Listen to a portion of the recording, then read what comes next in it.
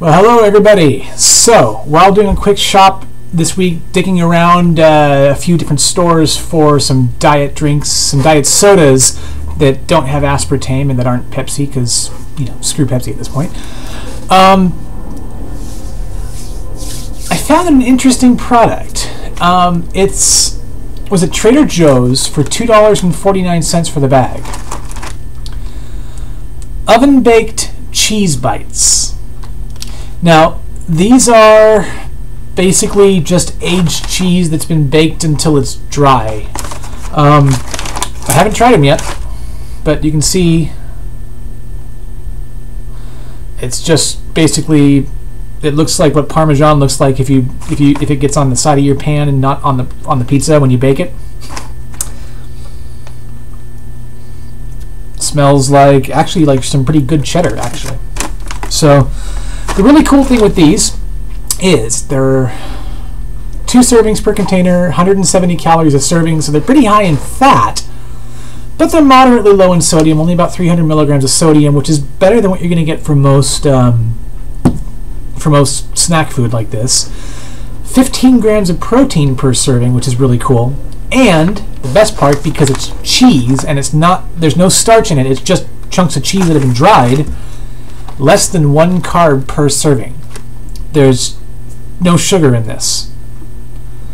This is fantastic. This is great. This is exactly the sort of snacks that I'm looking for.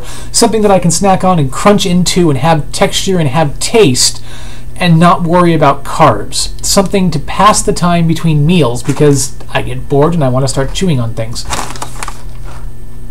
I'm happy with this. So, let's try this and see what they're like.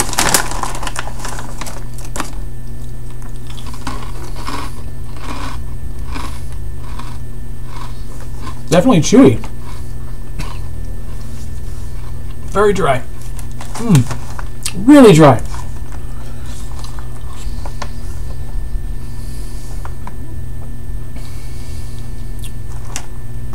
Yeah, this is basically if you've ever made like a ball or like a butterfly out of uh, Parmesan cheese and just like the, the, the, the powdered Parmesan cheese and just baked it in the oven until it solidifies that's what this is.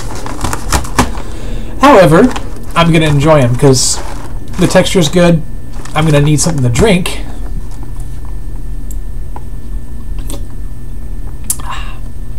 Bit of a teaser for what's coming tomorrow. Um, you know what? Yeah, okay, go with these. These are actually pretty tasty, and I think they're a good choice, and they're reasonably priced. It's a bit small on the serving size, but something tells me with how dry they are and how crunchy they are, you're not going to be missing anything in your stomach. I think you're going to feel satisfied for a snack, and I think you're going to be able to, you know, carry on to the next meal. They're a good pick. I would definitely go with them. I think. Um, they've got my full support, and I'm going to see. The lady at Trader Joe's said that they didn't have any other flavors for it yet, but let's see if I can find some. You guys take care.